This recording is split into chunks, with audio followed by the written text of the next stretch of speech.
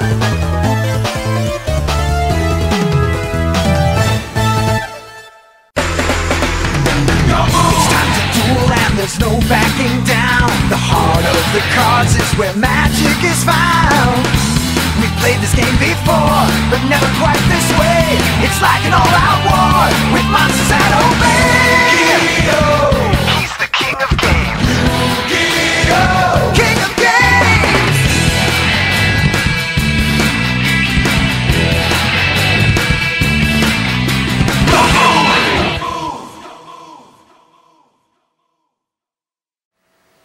What's up everyone? Welcome to NS Game Review CCG Edition, and this month we are going to be taking a look at the Marvel Recharge trading card game.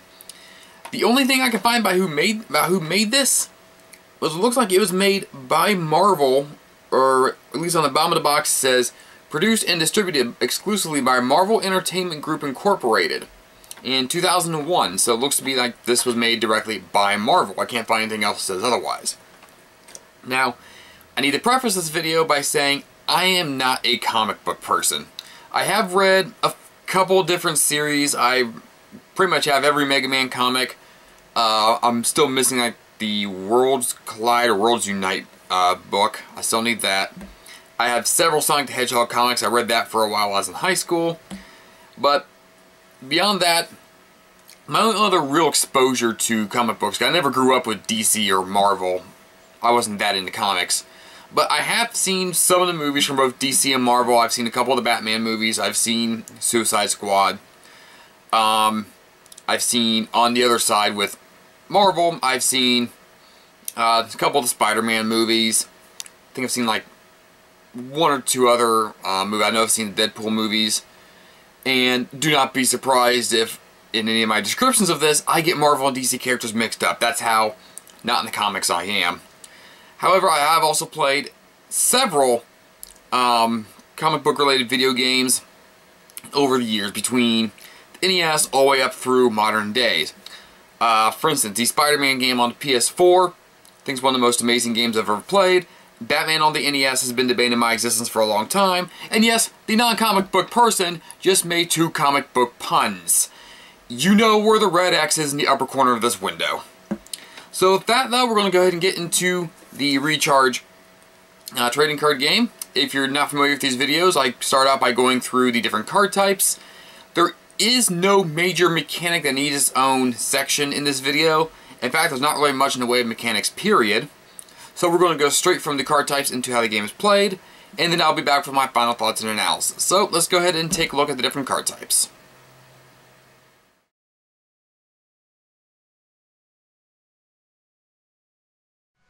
Marvel Recharge uses three types of cards, Hero, Power, and Teamwork. Hero cards are used to start a battle and is the only card type that's vertical. Hero cards will have a power rating in the upper left corner, and the goal of a battle is to have the most overall power between you and your opponent. You'll notice that the sides of the cards have different colors. This is a trait among all cards.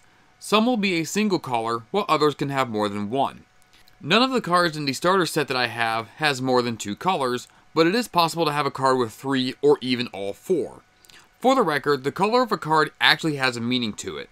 Red cards are good guys, green cards are villains, yellow cards are for females, and blue cards are for X-Men.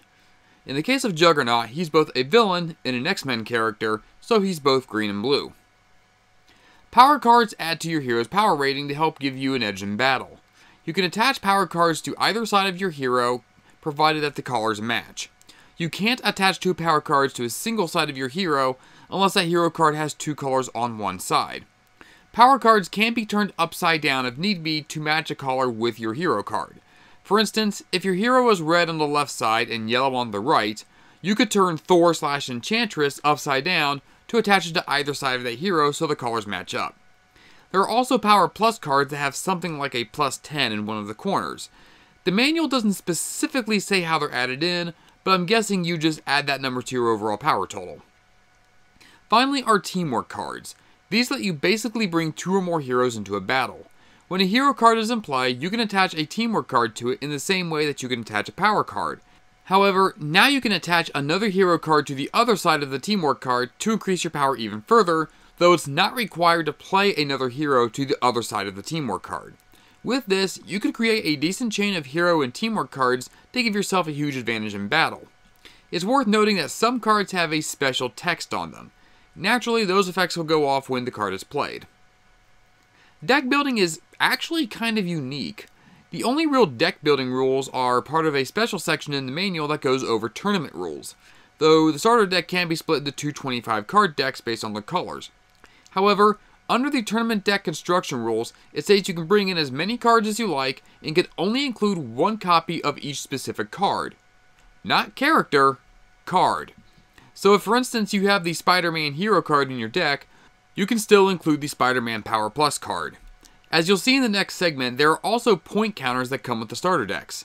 While in the starter game you'll play to 30 points, tournament games go to 70. Each player would bring up to 25 counters in any combination of point values from 1 through 5, and the total amount of these points must be between 50 and 65. If you're just using the two 25 card decks in the starter set, just use the counters to come with the game and play to 30. I go over this again in the next segment, but essentially the rules in the manual go over the very basics of how to play the game, and it's more like a little shortened version of it, whereas the tournament rules are the full-on how to play, in terms of deck construction and how many points you play to. That's pretty much it, so let's go ahead and take a look at how the game is played.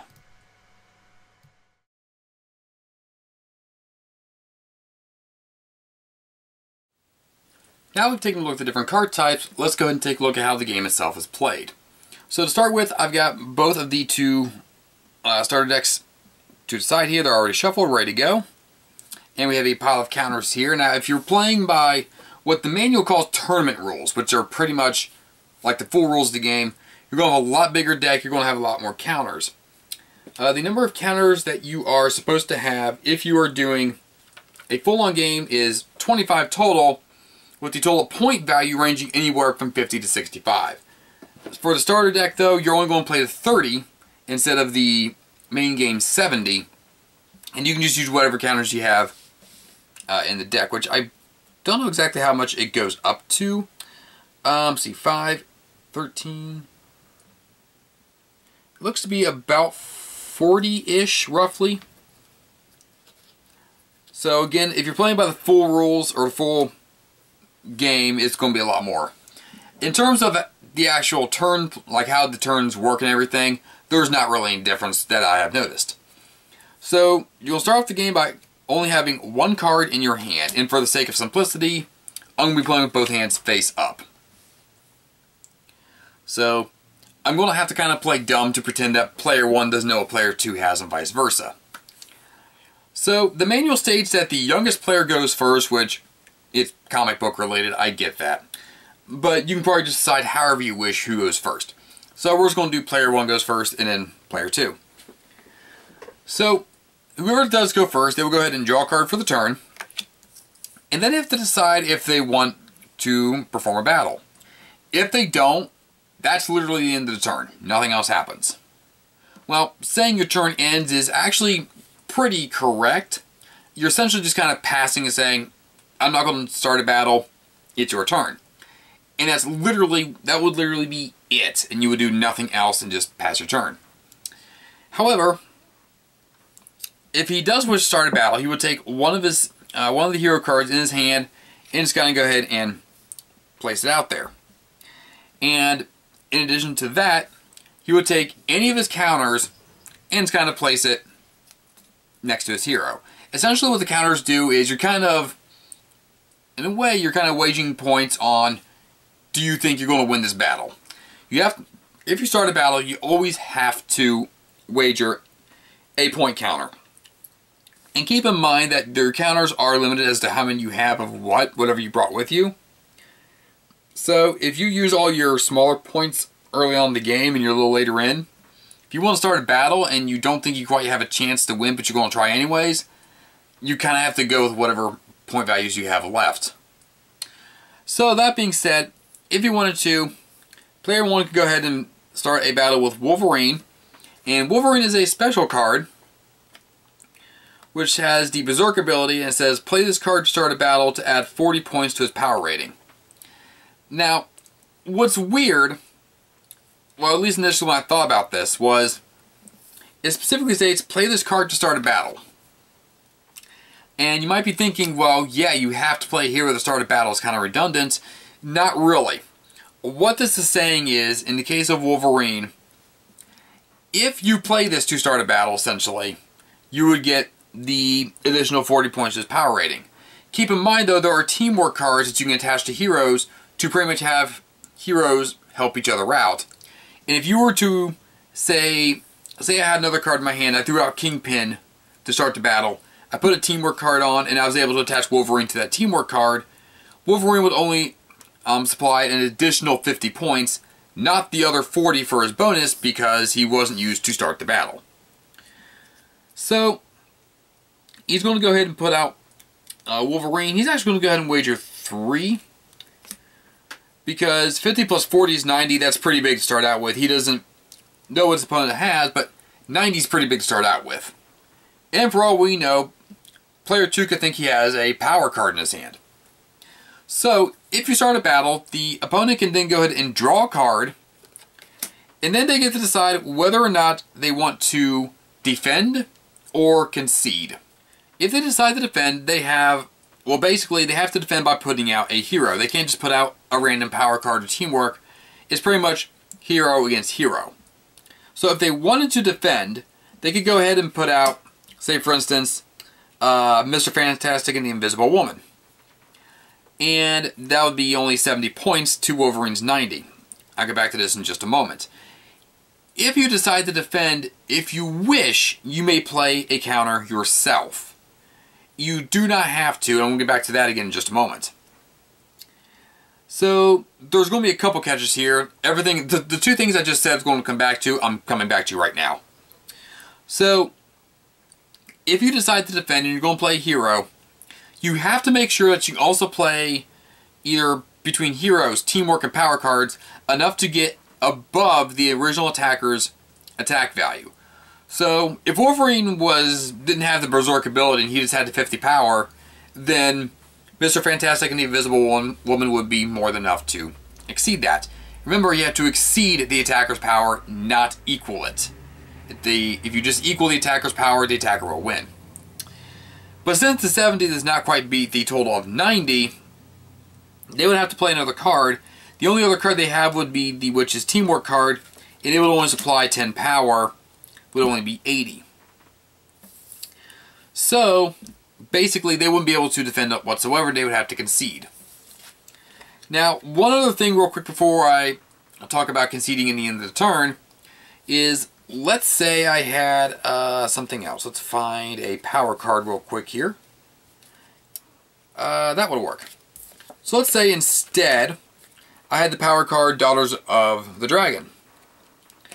Then if I wish, I could go ahead and play Mr. Fantastic and the Invisible Woman and attach Daughters of the Dragon to it to put me up to 100 power. Now again, if I wish, as player 2, I can go ahead and take a counter and kind of wager my own points. If I wish. However, since he's got another card in his hand, I'm not confident that he would only need another 10 points to beat me. So, I wouldn't be too confident putting another counter out there. But since the defender's power now exceeds the attacker's power, it goes back to the attacker to attach power cards or teamwork cards to now at least equal the defender's power. And if he did, like he doesn't, all he has left is the Hero Kingpin. Let's say that this was a power card, and I can go ahead and attach it, colors match and whatnot. And yes, make sure when you attach cards, the colors do match. If this were a power card, it was blue, I can go and attach it. The defender, at this point, could, if he wishes to, play another counter, I'm sorry, the attacker can go ahead and play another point counter only if the defender just did. So since the defender didn't, the attacker would not be able to. Now, and you keep going back and forth like that, upping your powers until someone finally either cannot play anything else or does not wish to. At that point, the higher point value total would win. And at the end of the battle, this is what happens. First of all, this, this would also be if the defender just conceded. First, you take any counters that were wagered on the battle, and they go to whoever won the battle.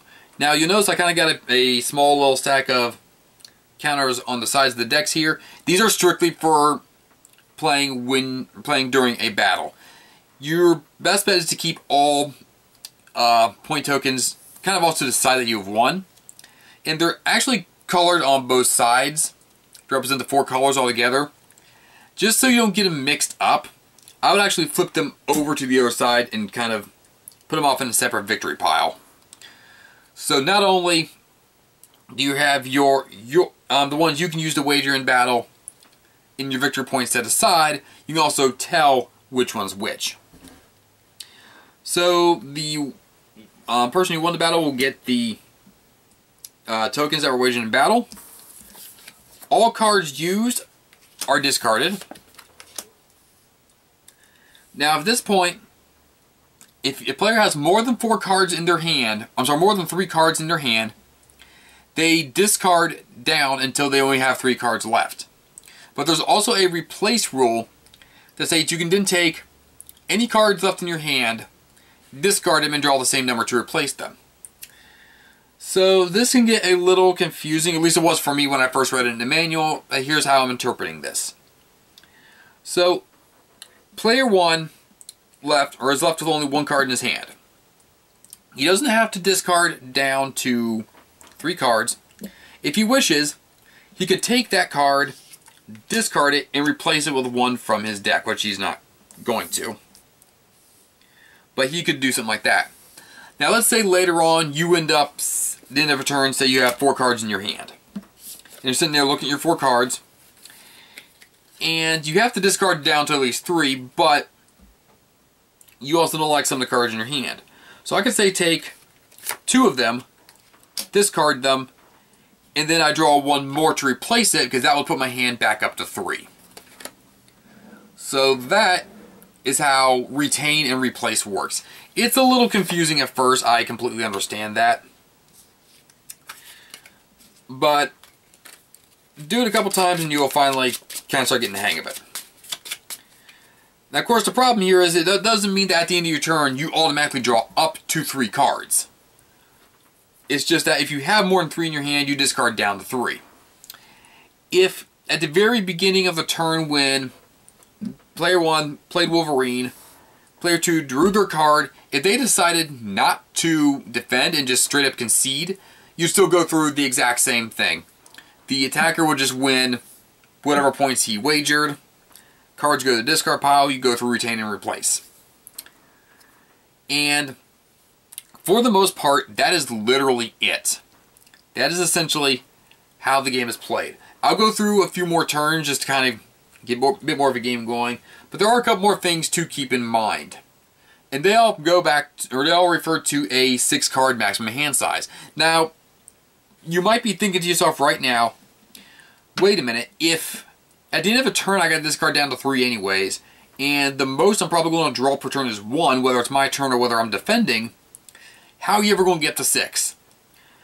Well, two things actually. First, I've not looked at all the cards in, this, in these decks, I'll be honest. I don't know if there are cards out there that let you draw extra cards during your turn. I'm sure there probably are.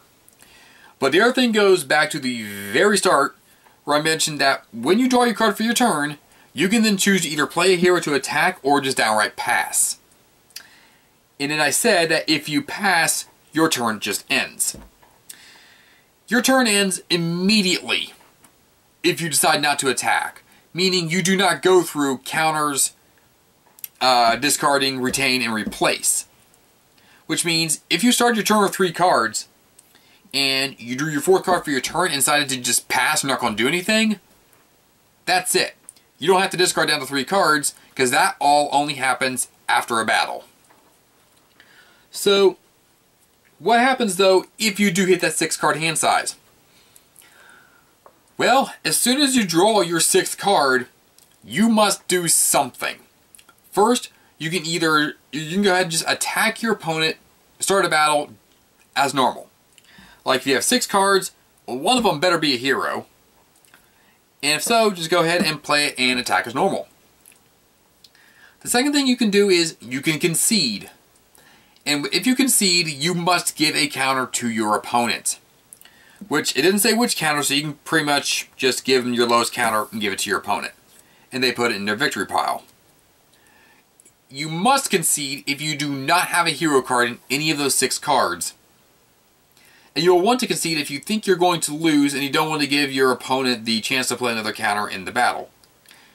Meaning that if you have, say, six hero cards and your opponent has two or three cards in their hand, if you don't think you're going to win, then you can just say, you can straight up say, I'm going to concede, going to give you a counter, as opposed to you playing your hero and then be able to play hero, wager another counter, and then maybe play power or teamwork card on top of that, and you have no chance in heck of trying to beat them.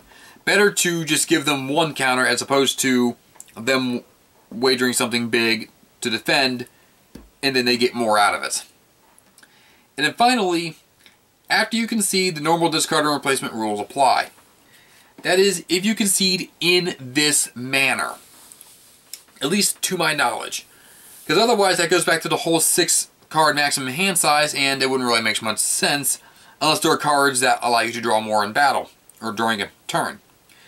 So in other words, just to reiterate, when you are, if you pass your turn, you do not go through retain and replace.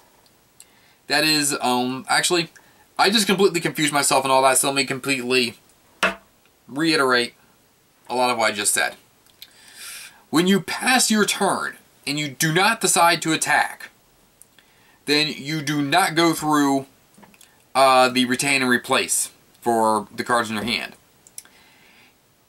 If you decide to attack and your opponent, whether or not they decide to defend or concede, at that point, once you've flown out a hero, you're in the attack phase, so to speak. At that point, if one of you two concedes the battle, or if you have drawn your sixth card and you have to and you have to concede or wish to concede for whatever reason, then you go through the retain and replace. So, with all that out of the way, let's go ahead and get another turn going. But there's a slight catch. Because unlike almost, actually unlike about every other card game I've played where you just alternate turns, here the person who has the priority, so to speak, or who has a chance to attack, is the person who lost the last battle. It doesn't necessarily alternate. So in this case, player 1 lost that last battle, so they actually get to start the turn by drawing a card and then going ahead and playing a card. In this case, they're going to go ahead and they see that player uh, 2 has absolutely no cards in their hand. So they're going to go ahead and play Kingpin Actually, no, they're going to go and play Sabretooth. And they're going to wager, they're feeling kind of cocky, they're going to go and wager four. So now, player two can go ahead and draw a card for defend. And they drew Dagger. Now, Dagger is only 70, and that would match Sabretooth, but remember, if you are the defender, you must exceed the attacker's power, not just match it. So they're not going to do anything. Also, something I didn't really mention uh, a few moments ago is that if the defender decides to go ahead and say they're going to defend and they can exceed the attacker's um, point value, the attacker does not get to draw a card when it's their turn to go again. Uh, to decide whether they're not going to play another card or just concede. That only happens when the defender draws their card after being attacked and then they decide if they want to defend or concede in this case, since 70 is not going to or not going to beat 70, there's going to go ahead and concede. Player one gets the counter. Cards go to discard piles. You do. Oh, I'm sorry. That wasn't even played. My bad. Cards played go to discard piles. Um, they're both under three cards in their hand, or both under. Yeah, they both have three or less cards in their hand. And they're not going to go ahead and do any replacing, so we go ahead and go to the next turn, which I'll do one more quick turn. And actually, I might go and do a couple more quick turns just to show a bit of strategy. So player 2 lost the last battle. They'll go ahead and draw to start the turn. And they just drew a hero. They're going to go ahead and pass because two heroes aren't really going to do a whole heck of a lot. So since player 2 just passed, the, you, you don't go through retain and replace or anything like that. And now, since they passed, now the turn technically would kind of alternate and go to player one to go ahead and draw for their turn. So in other words, the only time that it's guaranteed that the other person would start the turn start the next turn is if the first person just passes, if that makes any sense. And doesn't actually do any battles. And at this point, they just drew Dr. Sinister. Again, just a hero card. It's not really going to do a whole heck of a lot. So they're going to go ahead and pass themselves. And we go back to player two. They will go ahead and draw. And at this point, they've got to do something. Because since you can't do retain and replace unless you actually do a battle, yeah, we're going to go throw out Daredevil. So Daredevil has 80 power. And they're going to just wager, they're just going to wager two to start with. Because at this point, player one's got to have something. And player one does, but is it enough? They're going to draw their card for defending. And yeah, that's going to help quite a bit. So they will go ahead and play. Um. You know what? Let's go ahead and play Kingpin. Yeah, they, they would have to do this combination. So Kingpin, and then the Apocalypse Archangel Power card. I know they, they, they could have done Doctor Sinister, but why waste a dual color card? And there we go. And now we have a total of 90 power versus Daredevil's 80. And they're going to go ahead and they're not going to wager anything because for all player one knows, player two could have been sitting on two power cards or two teamwork cards the entire time. So they're not going to wager anything. Player two uh, cannot do anything else. So unfortunately, that means player one wins the token. Cards go cards played go to discard. And at this point, uh, player one is okay with the cards he has. Player two is going to replace. Discard one, draw one. I swear I shuffled this. And yeah, that's essentially it. So if you're playing with the starter decks, again, you go to 30 points. Uh, the only things you really didn't see here are teamwork cards. They're essentially played the exact same way as uh, power cards. So, let's see, I'm going to go ahead and dole up an example here that I can use both these for. And this should be good enough. So let's say, so, so let's say we have these two hands. And we're going to say it is, uh, let's see, how should I go about this? We're going to say it is player two's turn. So they will go ahead and they're going to play, well, let's go and play Dagger. Actually, yeah, for this to work, I would kind of have to play Dagger. So Dagger has 70 power, and she's going to go ahead and wager 3. So now player 1 will go ahead and go. They're going to draw their card. And that actually might throw a bit of a wrench into play. Not really. Actually, no, this works out even better. So they are going to go ahead and play Mr. Sinister. And they are going to attach the Magneto Professor X uh, power card.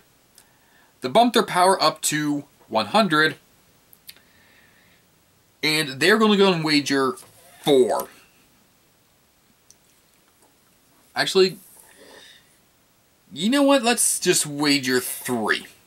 Because they don't want to completely say, hey, I mean, playing 4, maybe player 2 thinks he actually got something, but still. So at this point, now we have 70 versus 100. so we can go ahead and beat that, actually. Uh, first, we're going to go and play the Witch's Teamwork card to add an additional 10 power. And then on the other side of that Teamwork card, we're going to play Silver Surfer, which puts us up to 130 power, which e which beats 100. And you know, 130 versus 100, we're going to go and throw another 2 on there. Because since uh, the defender was able, or did play a counter the attacker can go ahead and play another counter. If he had not played this 3, then player 2 cannot play another counter. So basically, the only time the attacker can play another counter is if the defender had played a counter. So now we're back over to player 1. And they see 100 versus 130. So at this point, he's got kind of a decision to make. He knows that player 2 played all of their cards. They have nothing to retaliate against at this point. Which also means that they go into the next turn with nothing. Now, player 1 could keep the Magneto card and just concede the battle. That would also be giving player 2 8 points. So what we're going to do is, since player 2's already had disadvantage with no cards left in the turn, we're just going to go ahead and play the Magneto card to raise the points over here to 140.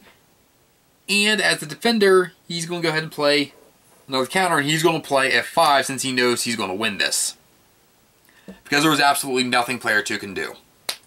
So now we have 140 versus 130, so player 1 wins.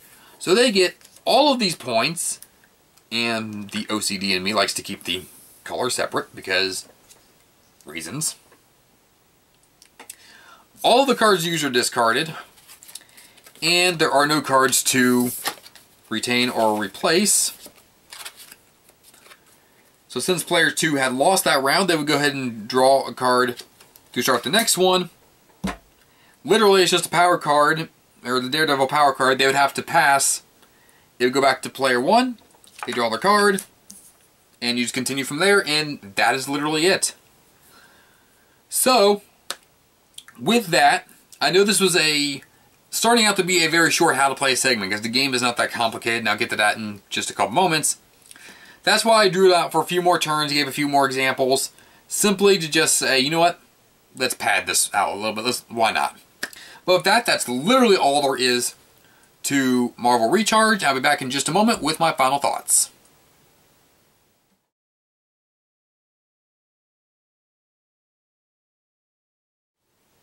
So that is it for Marvel Recharge, and honestly, I think I said this about the Digimon card game, um, or not Digimon, well, yeah, Digimon Fusion, but it kind of bears repeating here.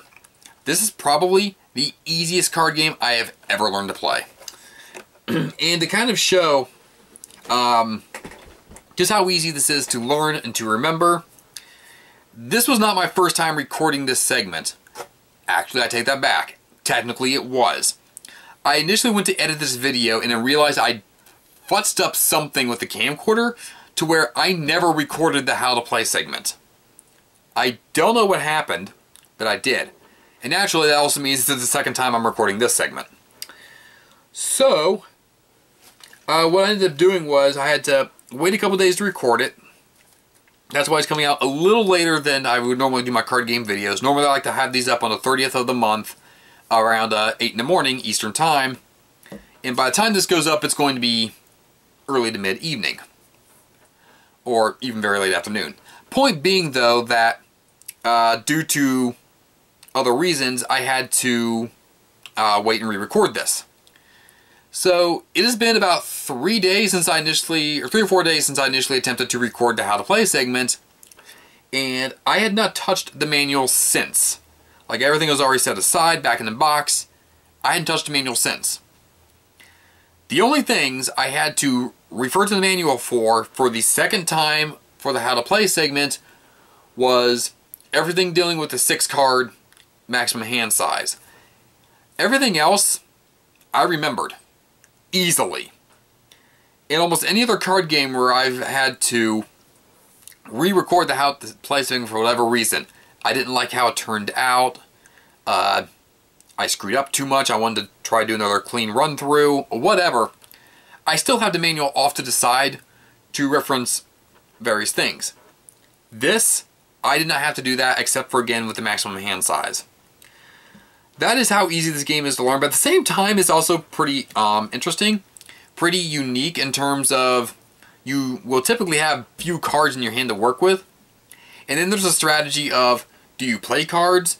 If you have the cards to even wager a battle, do you want to? Do you want to hang on to them and see what your opponent's going to do? There is, for a... This is... I don't know what kind of reaction this next sentence is going to get, get me, but there's deceptively quite a bit of strategy in this game.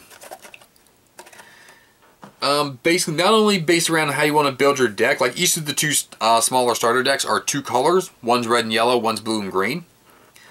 But also how exactly you play that. And if you're going to do the full game, uh, what kind of tokens do you bring? Again, you have to have 25 tokens, I believe it was, ranging anywhere from uh, 65 or 50 to 65 points. So you're also limited on the number of tokens you can have. Uh, deck size wise, there's not really a deck limit, but if you, that is something I did not mention how to play is, if you run out of cards in your deck, you don't reshuffle your deck or anything, but you don't lose immediately.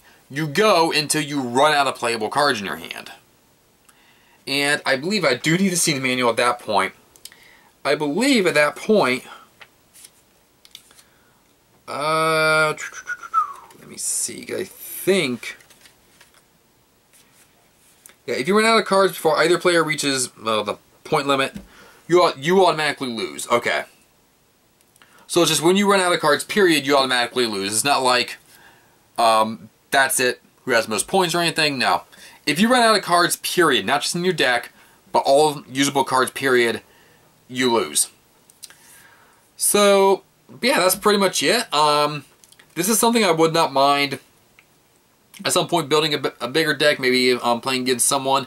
Again, though, it is very simple. If you are looking to um, get into card games and you like Marvel Comics, or uh, you have a younger person who wants to get into card games, like um, something like this, but Magic is just a bit too advanced, um, this is definitely a good one to start out with. Uh, so with that, that's all I got for Marvel Recharge. I thank you guys for watching, and I will see you next time. Hey everyone, thanks for checking out my look at the Marvel Recharge collectible card game. Again, one of the easiest card games I've ever played, easy to learn, easy to remember. If you're looking for a newer card game to get into, or if you just like Marvel, definitely check this one out. If you are newer to my channel, I've also done video game reviews. I upload my Twitch stream archives whenever I stream, which is hopefully going to be more frequently here soon. And I also do occasional Let's Plays such as my run through Cuphead, where I am at a bit of a standstill thanks to Junkyard Jive. I really don't like that stage. With that, I thank you guys for watching, and I will see you next time.